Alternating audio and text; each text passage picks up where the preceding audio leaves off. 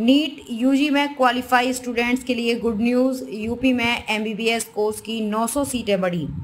उत्तर प्रदेश में 900 सीटें बढ़ने के बाद अब एमबीबीएस कोर्स की कुल नौ हज़ार तिरपन सीटें होंगी। इसमें 35 सरकारी मेडिकल कॉलेजों में 4,303 सीटें और 32 प्राइवेट मेडिकल कॉलेजों में 4,750 सीटें हैं। वहीं बीडीएस कोर्स की कुल 2900 सीटों पर प्रवेश लिया जाएगा। उत्तर प्रदेश में डॉक्टर बनने का सपना सजो रहे युवाओं के लिए इस वर्ष मौके और बढ़ गए हैं। इस बार नौ नए सरकारी मेडिकल कॉलेजों में एमबीबीएस कोर्स में दाखिले लिए जाएँगे। प्रत्येक मेडिकल कॉलेज में सौ सौ सीटें हैं। ऐसे में इस शैक्षिक सत्र में उत्तर प्रदेश में एमबीबीएस कोर्स की कुल 900 सीटें बढ़ाई गई हैं।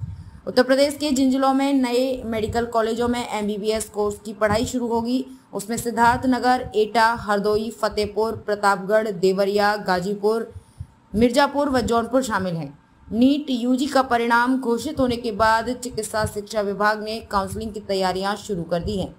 जल्द ही काउंसलिंग की तारीख घोषित हो जाएगी। उत्तर प्रदेश में 900 सीटें बढ़ने के बाद अब एमबीबीएस कोर्स की कुल नौ हज़ार तिरपन सीटें होंगी। इसमें 35 सरकारी कॉलेजों में 4,303 सीटें और 32 प्राइवेट मेडिकल कॉलेजों में 4,750 सीटें हैं। वहीं बीडीएस कोर्स की कुल 2900 सीटों पर प्रवेश लिया जाएगा। तीन सरकारी डेंटल कॉलेजों में बीडीएस की कुल 300 सीटें और 24 प्राइवेट डेंटल कॉलेजों में 2600 सीटें हैं। एमबीबीएस बीडीएस सहित मेडिकल के अंडर ग्रेजुएट कोर्सों में दाखिले के लिए आयोजित NEET national eligibility cum entrance test का नेशनल टेस्टिंग एजेंसी ने बुधवार देर रात परिणाम घोषित कर दिया।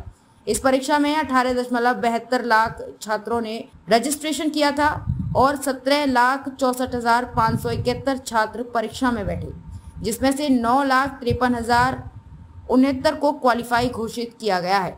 उत्तर प्रदेश में नीट यूजी 2022 के लिए कुल एक दशमलव सत्रह लाख अभ्यर्थी उत्तीर्ण हुए हैं। फ़िलहाल अब काउंसलिंग की तारीख और विस्तृत दिशा निर्देश एक दो दिन में घोषित किए जाएँगे। बता दें, नीट एग्ज़ाम तेरह भाषाओं में हुआ। इंग्लिश भाषा से सबसे ज़्यादा अठहत्तर दशमलव तिरासी छात्रों ने एग्ज़ाम दिया।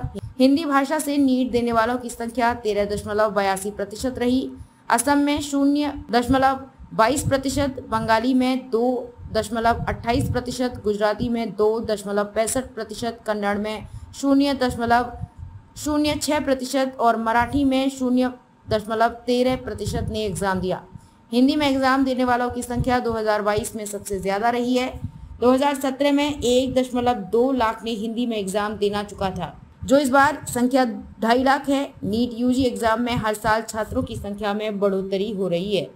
खबरों में अब तक लिए बस इतना ही। मिलते हैं फिर ऐसे ही बड़ी खबर के साथ। तब तक के लिए नमस्कार और देखते रहिए ABD news twenty four into seven